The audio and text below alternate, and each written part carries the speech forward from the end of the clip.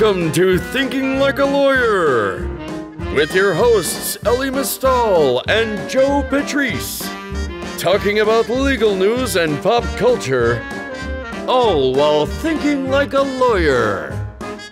Here on Legal Talk Network.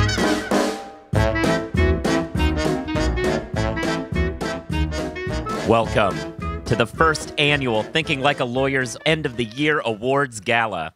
We're together here. I'm Joe Patrice from Above the Law. My colleague Elie Mystal. We're both in our tuxes for this grand event. I'm still alive. I'm still alive. Yes. Can you feel the excitement in the air tonight? Like the the red carpet filled with so many embarrassing lawyers that we're going to talk about. It's just it's my favorite event of the year.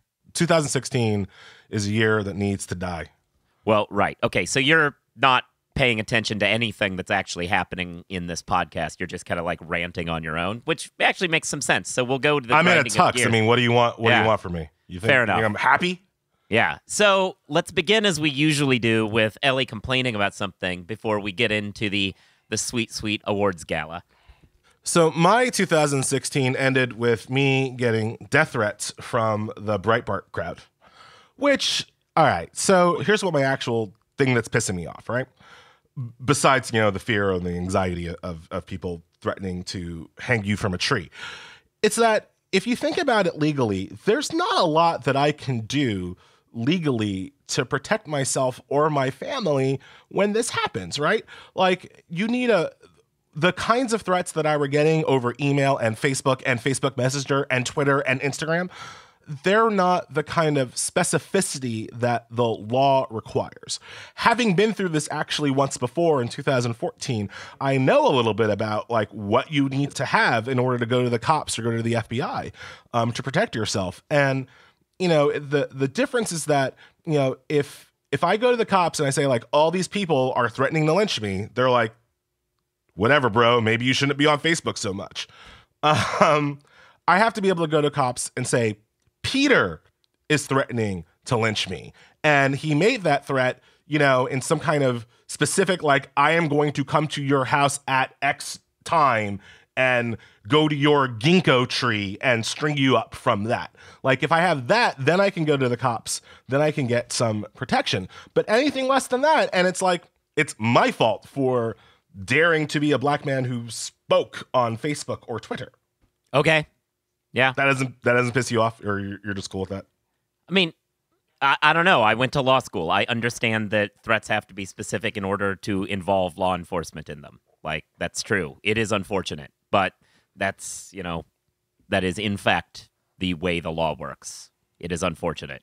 But, I mean, if you wanted to give the cops way more money so they can chase down everything, I mean, I think that if that strikes me as though that could be dangerous.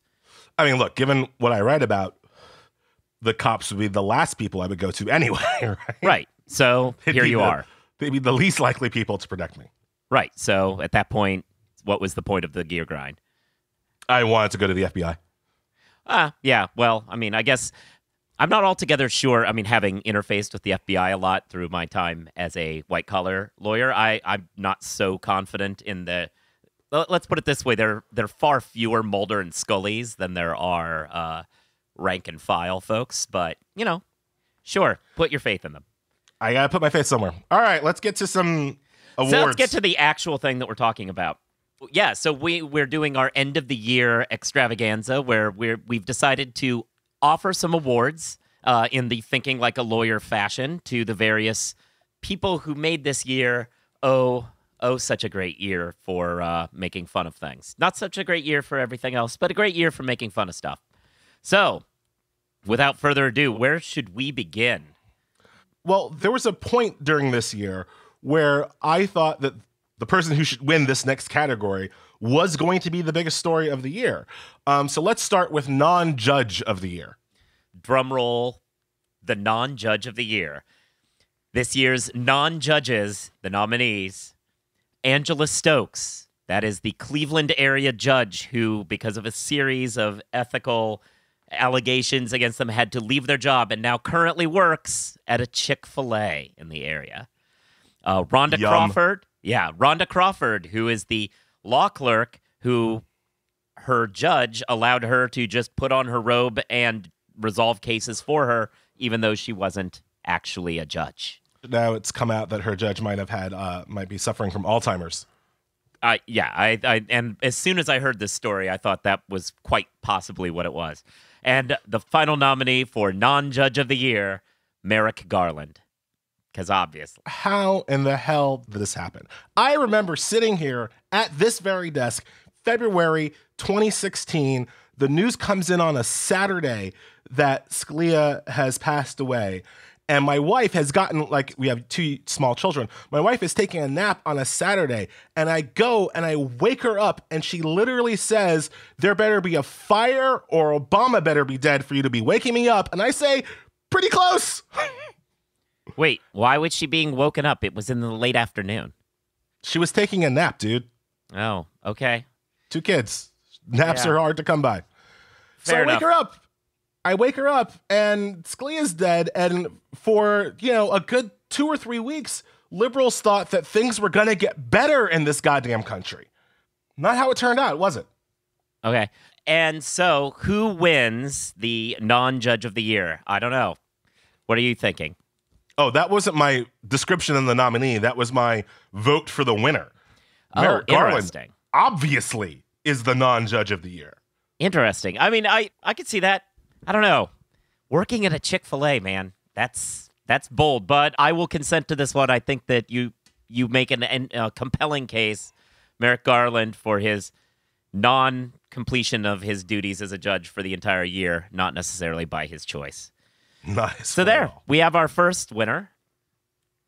Next up, uh, let's get this rolling with some uh, some classic ATL logic. Uh, let's go with the Practice Pointers of the Year award. This is a trophy that we give annually to the lawyer who best shows innovative practice points in performing the duties of the profession. Uh, this year's nominees, very, very esteemed group. We begin with Jessica Michali, who is a lawyer who allegedly uh, no, um, just a well, sort of like she's she was defending an indigent client, I should say, a lawyer in Florida who was caught. And this is the quote of the guard who caught her. Uh, she denies these allegations, but caught, according to the guard's report, quote, bent over a table, apparently having sex with an inmate. Boom. It's certainly an unorthodox interview style, to say the least, but it's something we learned this year. Secondly, we have Bradley Schaefer. This is a lawyer who involved in a case about unpaid wages for strippers. His dog died, which made him very upset and led to him writing a brief that includes the following line quote if you all do not resolve this at mediation dot dot dot i'm going to literally all caps fuck them so far up their asses with the irs that my dick is going to come out their noses that line by the way was then accompanied by a footnote he actually footnoted this felt like there was a need for a citation after this line and finally uh, chad flores who was a I'm not familiar lawyer with Chad. What did, what did Chad do this year? Chad opened up his Fifth Circuit brief with a hypothetical conversation between him and his client that kind of went roughly along the lines of Client, why did we lose this case? Lawyer, well, sometimes judges do the wrong thing, but thankfully the Fifth Circuit is smart and will figure this out. Yada, yada, yada. The judges responded to this with their own hypothetical conversation where all three of them agreed that this was stupid. Well, I'm going to give Chad a pass then because it seems like you tried some performance art in a brief. You know, sometimes those things stick and sometimes they don't, but I'm going to give him I'm going to give him a pass for trying to be creative. You know, I don't feel I, I don't want to award Jessica cuz it feels slightly, you know, it feels slightly sexist to be all up in her business, you know, with her clients and interview I agree. And it's also important to note that, you know, she denies these allegations, so it's not nearly as cut and dry. Exactly. Um, we don't know what the corrections officer actually saw, so so I don't want to totally burn her up. Schaefer, I mean, he's, he's talking about dick noses. Like that's that's Yeah, a problem. I think that's that's our obvious winner. Congratulations, to Bradley Schaefer on winning the Practice Pointer of the Year award. We're just uh, Yeah. we're having a good time here. Uh, We I thought about, and I didn't actually end up doing this because I didn't have time. I thought about maybe for next year's uh, awards gala, we got to do this right, like any real awards show, and have an in memoriam with some sad music in the middle. Uh, I didn't go have time to go through and do all that, but uh, yeah, well, something to look forward to for next year. I'll pull out my tenor saxophone. Um, let's finish our insertion categories. Okay. All right. So this is the award named after us. This is the Thinking Like a Lawyer trophy for outstandingly inappropriate insertion of the law into non legal settings. All right. I know who I think should win. So you, All right. you read the nominees. I know I got my winner. Okay. The first nominee uh, is an unnamed couple, so we're just going to call them unnamed douches. These are a lawyer couple who wrote a long, long, incredibly detailed and quasi threatening letter to their daughter's teacher, chastising the teacher for scolding their daughter. As one would imagine, it involves invoking the fact that they are, in fact, lawyers multiple times. It's classic. Secondly, we have Dwayne Downing, who a Texas lawyer who wrote a speaking of threatening demands, he wrote a demand letter to a restaurant for not giving him $2.25 worth of soup. And finally, Terry Crouppen, who paid the big bucks in St. Louis to take out a Super Bowl ad to air during, locally during the Super Bowl to trash the Rams for moving to LA. That's thinking like a lawyer, using your legal skills for useless stuff. Now, obviously, I think parents uh, chatisizing their uh, their school teacher is is ridiculous, and and and that's that that that's just not even funny. That's just why America fails. Um, I'm going to defend Dwayne Downing for a second here because I too have been in a New England clam chowder shop, ordered a bowl of clam chowder, got a cup of clam chowder, was charged for a bowl of clam chowder, and felt like justice had not been served. And and was forced to have quite a long conversation with the waitress about this injustice. So I think the clear winner is Terry Crouppen, who went all out over a crappy football team, moving away from a crappy city back to the city where they deserve to have a football team. Well, all right. I, I'm I'm agreeing with your final ending. I also uh, defend Dwayne Downing. I actually wrote an article at I covered this at the time, and I defended Downing when everyone else in the world was jumping down his throat. I'm like, you know, hey, you put out a menu. It says you can get this soup. You don't give it to him. It's not like he actually sued them. He just sent a letter asserting his rights, and you know, good for him. And good not only for him, but for all the other customers who might come in looking for a deal on that day and get the shaft. So I, I defended him. He was standing up for the little person. I'm with you on Terry Krupp, and I don't necessarily think that LA deserves a team because there's a reason they've run every team that's ever been there out of town. But, you know, come on, dude. You don't think the largest media market in the country deserves a football team? I mean, to the extent to the extent that we can use the word dessert and football team in the same sentence, which I agree is is a stretch. But to the extent that we're going to use that in the same sentence, how does Los Angeles not deserve a football team? I mean, scoreboard. It's just they've had over the course of the years, they've had three football franchises, and they have run every single one of them out of town. Now they've gotten one of them back, and they will inevitably not care about them either. Look, you and I are on the same page about how awful stadium deals are for cities. And Yes. to me, the best thing about LA having a football team is that now not every football team can use LA as the hot ex girlfriend to hold their cities hostage. That's fair. Like That's fair. LA needs to be off the table for this charade that NFL team owners run. So that's my big reason for LA deserving a team. that is a much better argument in my mind, and I can I can get on board with that.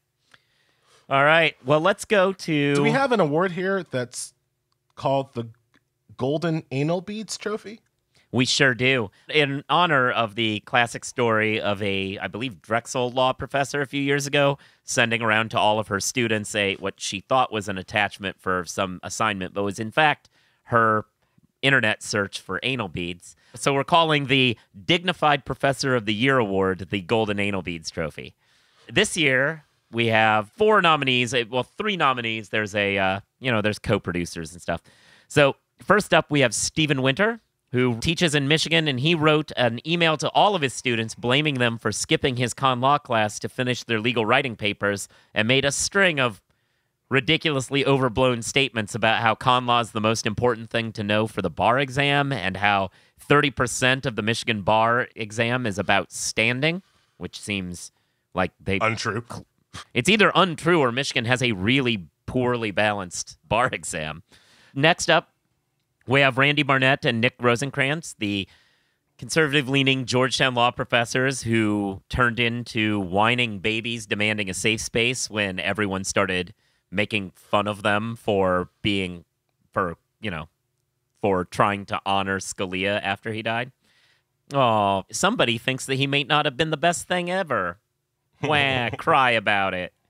And finally, Nancy Shurtz, the Oregon law professor who was just disciplined yesterday, I think, or yesterday or the day before, over her incident, which was going to a Halloween party in blackface.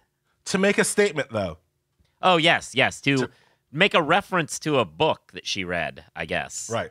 Uh, Yeah. Black Doctor in a white coat is the book, or something like that. Yes. So she went as she put herself in blackface and a white coat, which kind of went over the heads of everybody, at the very least. Yes, one would imagine. Who's your pick here? I think they're all jerks. I mean, I I don't want to go after winter. I think that I, I understand the frustration of people skipping your class, especially to skip it to work on a project that is generally not graded. So I think that I, I kind of side with him, even though he he may have gotten a little out of hand with the things he said. This is a tough one between the other two, though, because because Nancy obviously is the most ridiculous and offensive act of a professor this year. But she's a lower profile professor than, say, Barnett and Rosenkranz, who spend so much of their effort whining and complaining about how college kids these days and their safe spaces and wusses, and then as soon as the tables were turned, they revealed themselves to be bigger babies than all of them. So I think I'm going with them. The hypocrisy of Barnett and Rosenkranz, I think, has Yeah. to win the day. Okay, good. Uh, We're on the same page. So we're on the same page, but so we kind of agree on number one, but we diverge on number two because in a normal year, I would pick winter because I have a real thing over professors who get pissy when kids don't want to go to their class. Like uh, maybe it's because I write on the internet, maybe because I know that part of my job is to compete with the professor for the eyeballs of the students in their class. But you know, be more interesting. Like, like if you were a more interesting professor, kids would not skip your class. Period. End of story. If kids are skipping your class, it's because you're not very interesting or they don't think your class is very important, which is on you as the professor to school them otherwise. Interesting. Yeah, I mean, that's a compelling argument. But yeah, I think the hypocrisy, the Barnett and Rosenkranz win the day. All right. So, and the beads go to Barnett and Rosenkranz. This is their first win, their first nomination. That's going to be the best part about doing this on an annual basis is when people get repeats and we could have that little voiceover. This is their second nomination. All right. So, let's go to what I like to call the professionalism award. This is just Ah. a general award for professional behavior for just, you know, not even making fun of folks so much as some of these have been more sarcastic. This is a some of these are like real heroes to us. So, number one, I have an unnamed associate. We didn't uh, divulge the uh, identity of this one, but unnamed associate who wrote in their departure memo to their partner, who had asked them to follow up on a few things on their last day. Do them your fucking self. A proud moment in uh, Johnny Paycheck lore. We also have an unnamed summer associate who, at a summer event, slapped an associate, according to reports. Just hauled off and smacked an associate. Not because the associate did anything inappropriate. Wasn't that kind of a story. It was just like, bam. So there we go. Random acts of violence. Law firms need more of that. We have Duncan Lloyd. Uh, this is uh, someone you are very familiar with recently. Duncan Lloyd is a city attorney in Philadelphia, and he scrawled fuck Trump graffiti on the sides of a fresh grocer, which is like the Philadelphia equivalent for a Whole Foods, and got in a bit of hot water for his uh, sad display of protest. Yeah, and what was he wearing while he did this protest? He was wearing a blazer and an ascot and holding a glass of wine while he he didn't spray the graffiti. He filmed his friend spraying the graffiti so he could have his other hand. So he had one hand on his camera phone, the other hand on his glass of wine, wearing his blazer and ascot while the crime went down. Amazing. I didn't know that ascots were a thing people wore outside of Hanna Barbera cartoons, but here we are. Uh, and finally, we have a fourth nominee in this category, which is Judge Bryant Durham, who is the judge in the famous Denver Allen transcript, which made a lot of news throughout the year. It eventually got turned into a Rick and Morty adaptation where the judge and the defendant on trial started screaming at each other, and it it it got real. We will put up the uh, video of this uh, of this event when we post this so that people can see it. So I have to say this about the Duncan Lloyd story, just just in point of fact. I've been writing for ATL for eight years. I've written some great stories. Duncan Lloyd is my most trafficked story ever by a long way. And that was just a sad guy in an ascot scrawling graffiti. So it's kind of has to be my winner. Um, but I am biased. I hear you. Uh, I certainly like him. I I really do. It is hard to get over that uh, Denver Allen transcript, though. That was that was just the height of professionalism for me. Was that back and forth? Where the judge eventually started demanding that Denver Allen masturbate in the courtroom in front of him. You know, things like that. I thought I thought that was that was really the height of professionalism. I can't disagree with you, but I, I got to go with my boy. He he danced with the date that brung you. Mm, all right. So we have Well- disagreement here. the Denver Allen transcript is going to become every every award show needs at least one horrible crime, you know, but somebody who got robbed. Let's go ahead and we will give this award to Duncan Lloyd, and everyone can complain for years about how Brian Durham is like the ET of this awards show. I agree. I was going to call him the, the the Pulp Fiction, whereas Duncan Lloyd is definitely the Forrest Gump. Of- he of year. absolutely is. Oh, wow. I mean, it's been an amazing night just seeing all the celebrities out in the crowds. Our you know. evening is coming to an end. Ricky Gervais is. is already drunk. Yeah, I mean, he started the night drunk, but uh, he was going to fill in for you until uh, until uh, he got a little tipsy. So we end with the what we like to call the big award. This is uh, our version of Best Picture. This is the Dewey LeBoeuf Memorial Law Firm of the Year award. So, Reddit, soak Yeah. that in. All right. The Law Firm of the Year. Our nominees are, I'll do these in a different order than I have them written here. Uh, Harder, Mirell, and Abrams. You may remember them for their efforts in helping Peter Thiel buy free speech away from the people who had it. which used to be Uh, us. Yeah, the uh, the Hulk Hogan lawyers. Jones Day, the venerable law firm who is making America great again, as pretty much their entire arsenal of lawyers has been working overtime to help out Donald Trump and are now forming large swaths of his legal team in his cabinet. And finally, Cravath, the perennial champion of law firms, Cravath, for raising everyone's salary in the middle of the year and trying to force a bunch of dumb mid tier firms out of business for following them. In a normal year, Cravath wins this walking away, right? I ugh, I think they still might. They hadn't had a salary raise since 2007. Cravath did it. Everybody else followed. Cravath has now set us up for the next great lawyer recession, which will be great for ATL's traffic. In a normal year, Cravath wins walking away. But Jones Day has turned itself into the legal shock troops for a fascist administration. I don't know how you can beat that. I don't know who has a more ATL Law Firm of the Year year than Jones Day becoming completely co opted by a fascist regime. That's amazing. Oh, I don't see any of that. No, I'm absolutely doubling down on Cravath. They Cravath actually is the most ATL of the of the years. It's it changed the economics of the entire industry. It finally gave associates money that what are ATL's basic watchwords? There's the embarrassing stories like the practice pointers stories that we had. There's paying associates and there's messing with mid-tier and less prestigious firms. Those are like the three pillars of our organization and two of them are fulfilled by Cravath here. I think this is a no-brainer let's look at this from a kind of an MVP analysis, right?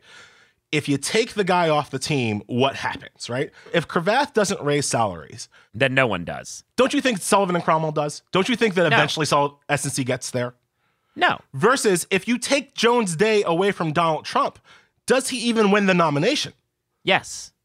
That's the thing. Like they've certainly helped him do a bunch of stuff, but like no, he was still going to win. I think your your MVP analysis proves my point. I think he was still going to win. He would have hired other lawyers. He would have hired Paul Clement to do stuff for him. Who knows? But Cravath, no one in this industry moves without Cravath giving them permission.